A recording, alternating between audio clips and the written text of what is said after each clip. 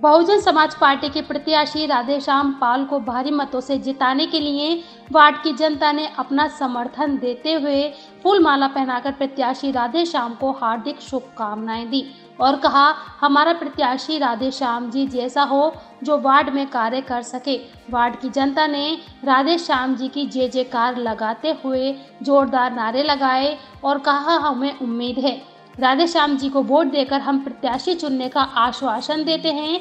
अगर राधे श्याम जी जीते तो हमें उम्मीद है कि हमारे वार्ड के लिए कुछ अच्छा करेंगे, जो अभी तक नहीं हुआ। वह उम्मीद हम राधे श्याम जी से करते हैं कि हमारे वार्ड को जीतने के बाद वह कार्य जो नहीं हुआ, वह करेंगे। प्रत्याशी राधे श्याम जी ने सभी से अपील की कि क्षेत्रवासी अपना वोट मुझे देकर विजय बनाएँ। मैं आपसे वादा करता हूँ, जो कार्य रुका है, मैं उसे पूरा करूँगा। जो सड़कों का क्षेत्र में निर्माण नहीं हुआ, वे मैं आपके आशीर्वाद से, आपके सहयोग से पूरा करूँगा और क्षेत्र के लोगों के लिए आधी रात को तत्पर खड़ा रहूँगा। मैं सभी से अपील करता हूँ कि मुझे अपना वोट देकर कामयाब बनाएँ। मैं सभी से हाथ जोड़कर अपील करता हूँ उसे चुने जो आपका कार्य कर सके। हाथी वाला जीतेगा। जीतेगा वही जीतेगा। हाथी वाला जीतेगा। मन लगेगी। हाथी पे। मन लगेगी। हाथी पे। मन लगेगी। हाथी पे। मन लगेगी। हाथी पे। आपका। कौन से आप खड़े हैं? वार्ड छत्तीस से हैं? वार्ड छत्तीस से अच्छा। क्या संदेश देंगे आप? संदेश यही है अगर पब्लिक मुझे कामयाब करती है तो उनके कार्य अपने क्षेत्र के लिए हैं। क्या संदेश देना चाहेंगे? सबका विकास। विकास में क्या कहना चाहेंगे आप?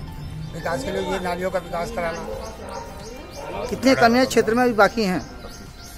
कमियाँ तो सारी बाकी है क्षेत्र के अंदर तो अभी, तक कोई कमी पूरी नहीं हो पाई? कोई कहीं पूरी तो आप कैसे कर लेंगे इस कमी को पूरा?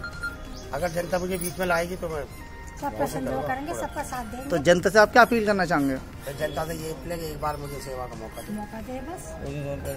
हाँ।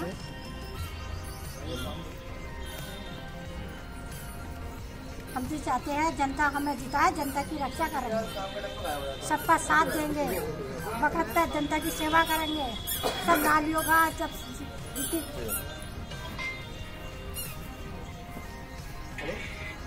आपका मेरा नाम चरण सिंह क्या संदेश रहेगा आपका?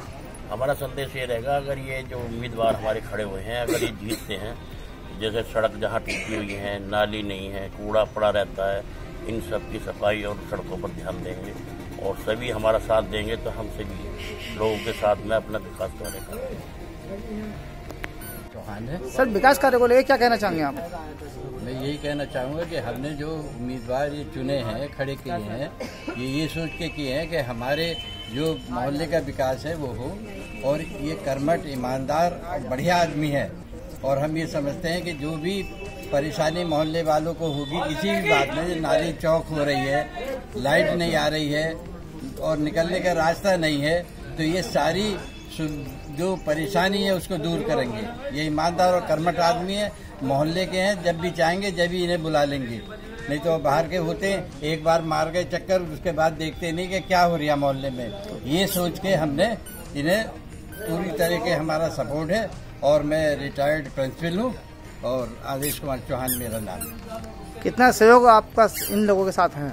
पूरी पूरा सहयोग है हमारा। विकास कार्य को लेकर क्या कहना चाहेंगे कार्य यही है कि इस विकास कार्य करेंगे पूरी उम्मीद है और ये इससे भी बढ़िया कार्य करेंगे। अब जो कर रहे हैं इससे ज़्यादा बढ़िया कार्य करेंगे। कहीं भी इनके कार्य में हमें कोई संदिग्धता नहीं है।